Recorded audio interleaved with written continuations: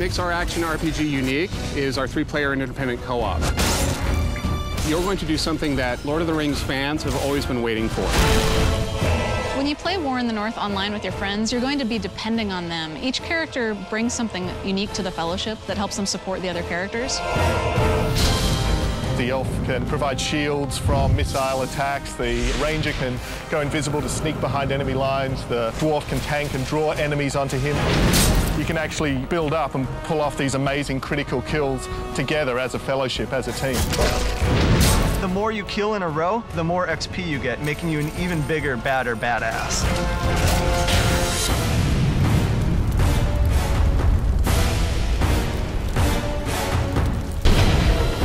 Play through the story campaign just like you would in single player, or you can work on the challenges in challenge mode and try to beat them with your friends. The challenge missions are an interesting part of War in the North. It allows players to go through and find loot, find different weapons and armor that they may not have found in the story campaign. It allows players to replay areas that they've been to before that they might want to explore again.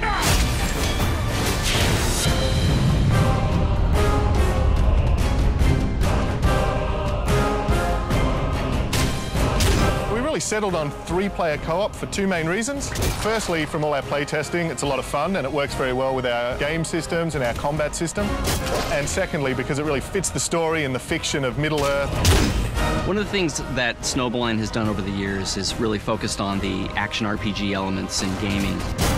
And that's something that we're bringing to new heights with War in the North. This is going to be our next greatest action RPG.